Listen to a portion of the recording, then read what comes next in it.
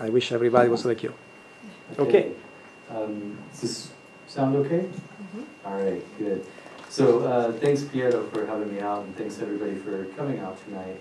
Um, as Piero said, my name is Shane Denson. I'm associate professor here in art and art history. Um, so let me just jump into it. Uh, my book, Post Cinematic Bodies, asks a set of questions about contemporary life and our relations to technology. Most fundamentally, how is human embodiment transformed in an age of algorithms? How do contemporary media technologies such as AI, VR, smartphones, and robotics, to name just a few, how do they target and reshape our bodies? And what difference can art make? To answer these questions, I move between mainstream and commercial devices and platforms and contemporary artists working with and against those technologies. For example, I write about objects like the Peloton bike and the Apple Watch, both of which capture information about our bodies, turning our metabolisms into valuable data that can be tracked and visualized for the benefit of the, of the user, but that can also be bought and sold to the highest bidder, for example, to online advertisers or insurance companies. In these exchanges, which are kept squarely out of sight of consumers, metabolic processes intermix with algorithmic ones.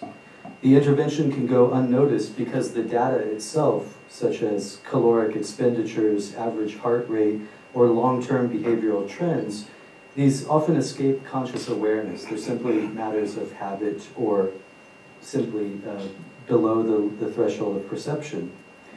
Meanwhile, the algorithmic processing of the data is completely black boxed and unavailable to our perception. And since our biodata is not just recorded and analyzed, but serves as the basis for real-time predictive operations, the mingling of metabolism and algorithm represents a deep intervention in the lived experience of having and being a body. As I argue, the contemporary media landscape, characterized by smart devices and systems, subtly transforms our bodies and our relations um, our embodied relations to the environment. So what I mean is this. The new algorithmic media operating predictively and at microtemporal speeds, often at the scale of nanoseconds, bypass our consciousness to take aim at bodily processes, exposing them to predictive shaping. So let me spell this out in a little bit more detail. Computational operations take place faster than the blink of an eye, outside the window of human perception, and they operate on the embodied substratum of perception. They're therefore able to get ahead of consciousness, slotting our bodies and minds into grooves that are traced out for them in advance.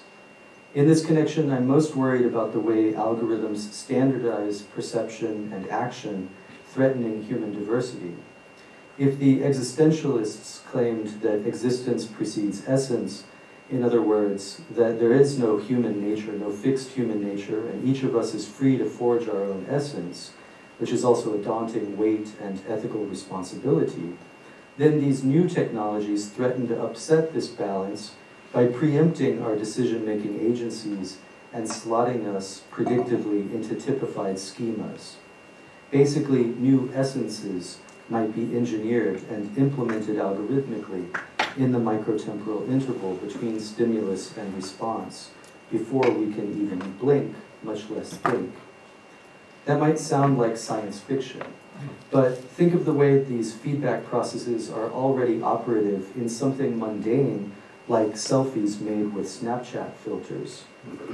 Holding the smartphone at arm's length, we look at ourselves in a virtual mirror which in real time shows us an augmented image, maybe our face overlaid with bunny ears or a big mustache or some other playful transformation. All of these filters depend on bodily norms, such as what a face typically looks like.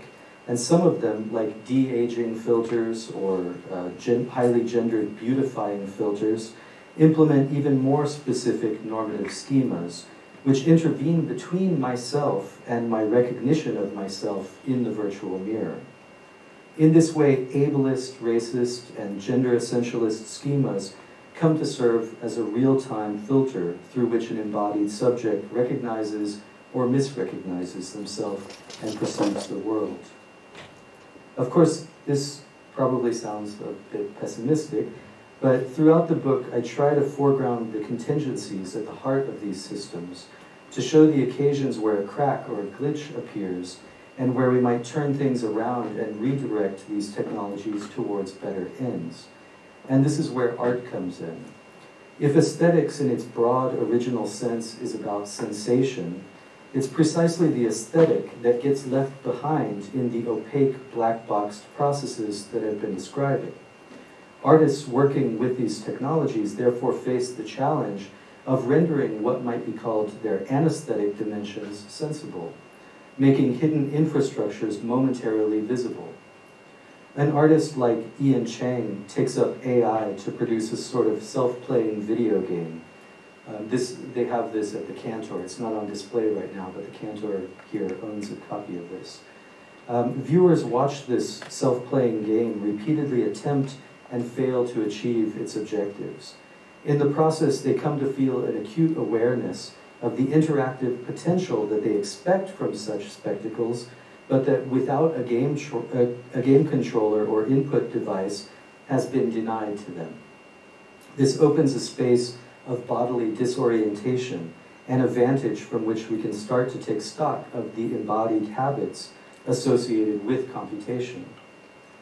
Media artist Hito Steyerl pushes further, investigating the formatting of embodiment through a playfully self-reflexive video installation about motion capture, itself set in a motion capture studio. She suggests circuits that connect the abstraction of movement from human bodies to the modeling of motion in video games, to the automated recognition and targeting of bodies by way of computer vision algorithms in military drones. Against these logics, artist Rashaad Newsome deploys AI and motion capture towards more ameliorative ends. His project Being, which he worked on as an artist in residence here at the Human Centered AI Institute, allows users to interact with an ambiguously gendered and racialized robotic avatar inspired by both West African and African American cultures. Taking a special inspiration from queer black ballroom dance cultures, a central spectacle is that of the robotic body dancing on a virtual dance floor. As Newsome emphasizes, custom motion capture was necessary because black dance styles were not available in existing motion capture libraries. This is thus an attempt to develop what he calls a counter-hegemonic algorithm for feminist and black interests. These and other artists attempt to re-engineer the bodily norms and schemas at work in algorithmic media. Though they can't dismantle the invisible systems that now ubiquitously aim to track and predict our behavior, they sometimes manage to momentarily disrupt those circuits, helping us to feel, if not quite comprehend, the ways that embodied existence is up for grabs. So I'll end with a somewhat more detailed analysis of a contemporary artist working at the intersection of metabolic and algorithmic media.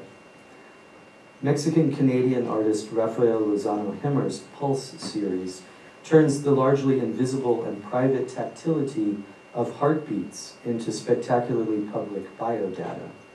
For example, Pulse Index from 2010 invites participants to place their finger into a custom sensor and observe their fingerprint and pulse being registered in a massive, larger-than-life image projected on the gallery wall, the largest of many such images arrayed in grids of increasing density that wrap around the room. The interactive installation displays the, the pulsing fingerprints of the last 10,952 participants, arranged in a Fibonacci distribution from right, the current image nearest the sensor, to left, where thousands of tiny prints are queued up on a giant wall waiting their turn to disappear from view. The sensor, which combines a 220-time digital microscope with a heart rate sensor, thus feeds the participants' biometric data into a large-scale display that intimates one's entry into a seriality that begins with the expropriation of tactile information from the body and ends with its withdrawal from view. Or rather, this is where the possibility of aesthetic engagement with the image ends. But the disappearance of the visual form does not necessarily signal its expungement from the machine-readable database. Presumably, the latter continues to accrue more and more data points, just like corporations and government agencies that don't even have the courtesy to show us an image of the anonymous collectives into which they aggregate us. Thus, the spectacular display of pulsing fingerprints progressing from the close-up of my own print, with which I'm encouraged to identify by means of the real-time imaging and the sheer size of the image, to those of the anonymous masses about to recede into the black box, provides a dramatic, perhaps even sublime view of the otherwise invisible correlations and discorrelations that drive our metabolic society. In an earlier work, Pulse Room from 2005, Lozano Hemmer uses heart rate sensors like the ones on treadmills and other exercise machines to measure blood flow in participants' hands. These sensors provide input for hundreds of clear light bulbs, all of which pulsate to the rhythm of someone else's heart. The formal seriality is similar to that of pulse index, the work I showed you a moment ago, but the representational dimension is downplayed since there's no video image involved. Because one's pulse is translated into pure non-representational light, the effect can be more environmental and less focused on individual differences between fingerprints, skin color, and other identifying marks.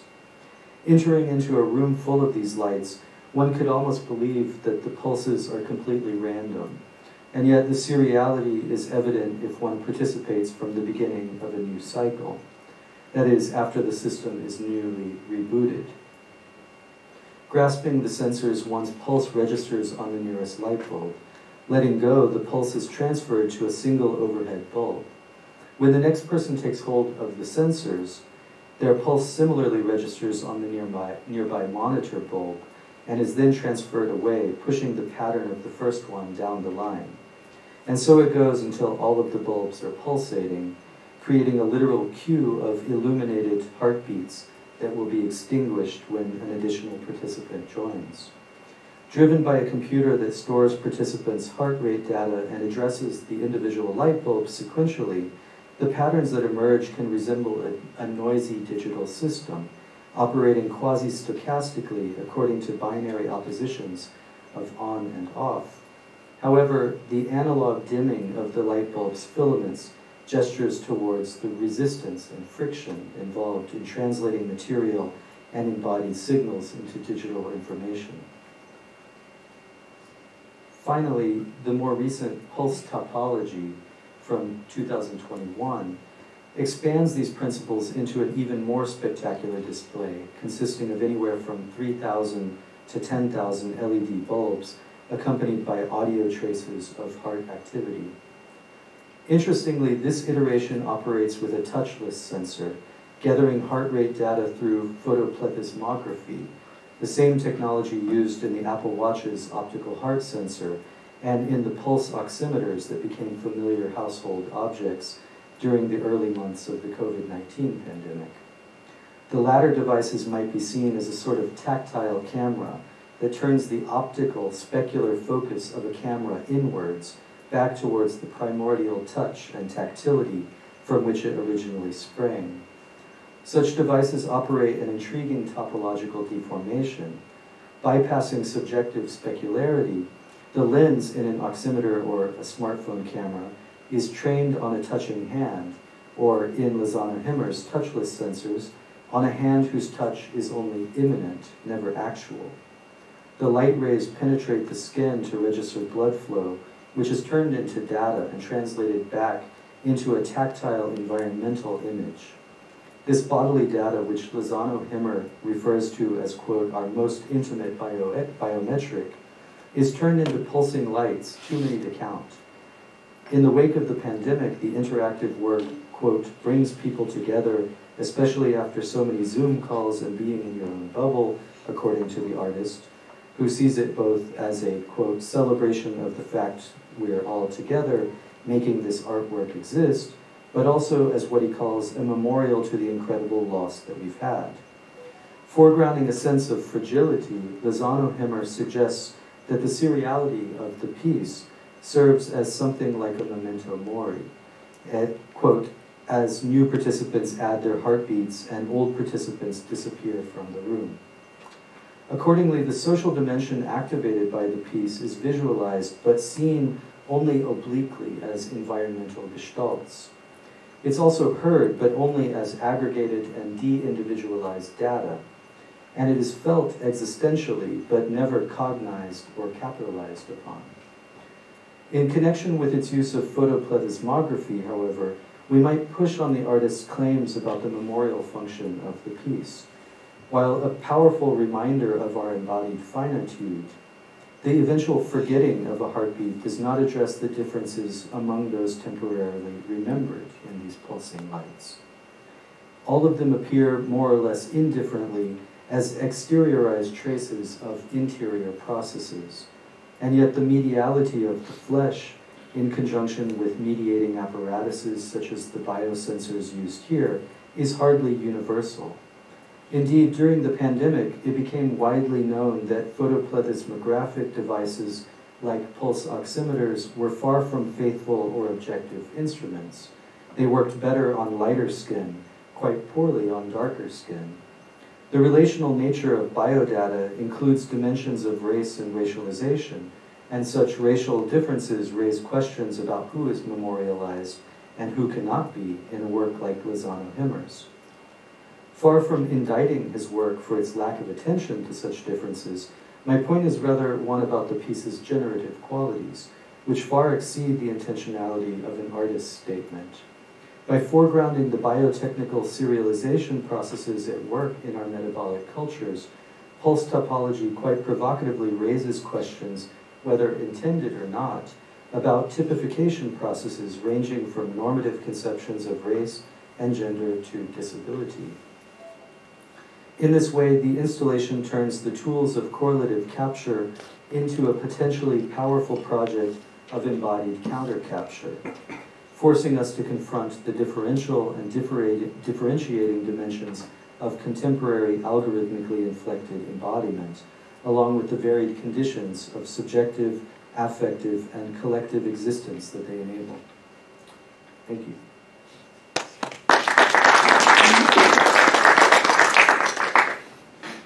Questions? Anybody has questions? At the end, eventually it all spools out, correct? None of the data is kept? Oh, yeah, in, in Lozano Hemmer's work. Well,